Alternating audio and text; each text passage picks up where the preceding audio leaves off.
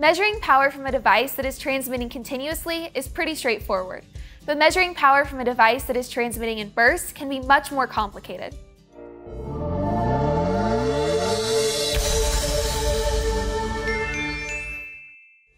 Hi, I'm Ally, and welcome to Ready, Set, Measure. Today we're going to learn how to measure the average carrier power of signals that transmit in bursts like this.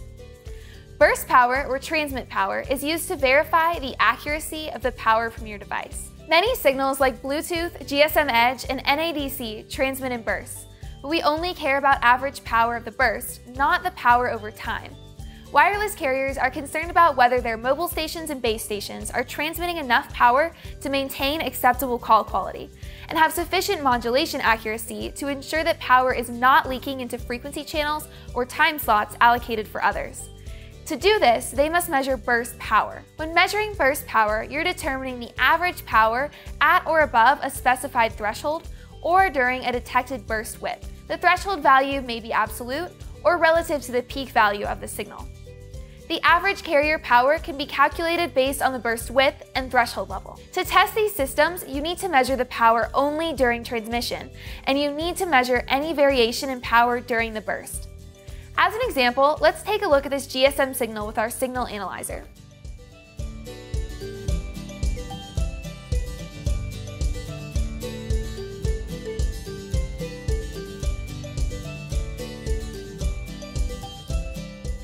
We've set the radio standard to GSM to match the signal's burst power. This analyzer has presets built in, or you could go in and set it up manually based on the spec. You can also manually select a specified burst width or set a predefined threshold. But we are going to use automatic burst detection to make things easier. On the vertical axis, we have amplitude in dBm as you would expect on a signal analyzer.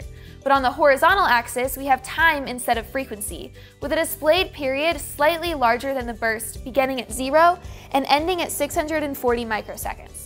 The signal analyzer burst power measurement allows us to see the shape of the burst, the full width of the burst, about 563 microseconds, the threshold level, currently set to minus 30 dBm, and the output power during the measured burst, which is minus 10 dBm. So now we have measured the GSM signal's power during this transmission burst. To learn more about power measurements, check out the Making Fast and Accurate Power Measurements application note linked in the description below.